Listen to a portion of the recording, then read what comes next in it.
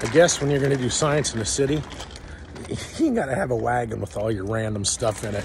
It'll look a little weird walking down the street, but it's for science, so why not?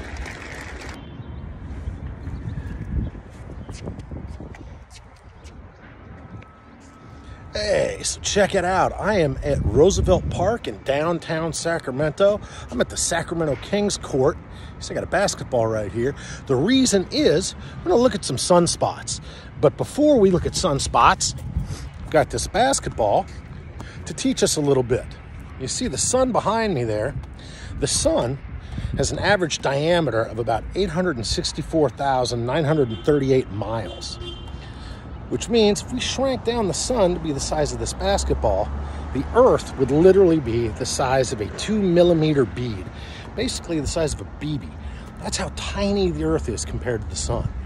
Now you see the sun behind me, it doesn't look super big, but that's because of how far away it is. It's over 93 million miles away on average. Now, if we use a proper solar filter, I've got down right here, this allows us to look at the sun without damaging our eyes. So check this out. You got the sun right up there, and if we add this filter, you can see sun just comes out to be this tiny dot. Doesn't even want to focus very well. That is the size of the sun when viewed from Earth. Comparatively, if that becomes the Earth, and the size that we just looked at with our filter, we've got to walk a long, long ways away from that basketball to get it to appear to be the size of the sun when we look up in the sky.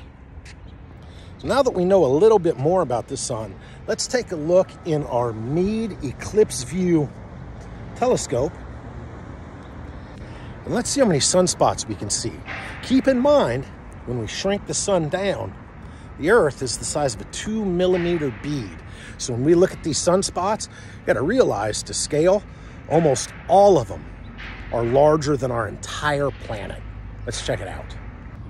You can see the eclipse view set up here. Now the easiest way for me to show you the sunspots is to hook up my Canon Rebel EOS T6i I've got an adapter here so that I can hook this up to the telescope. And then I will use this, we're gonna point it right up at the sun, and I'll use this to get some photographs. So I got the camera set up and you can see the sun here. I've taken a couple uh, photographs and there's quite a few sunspots, so check this out.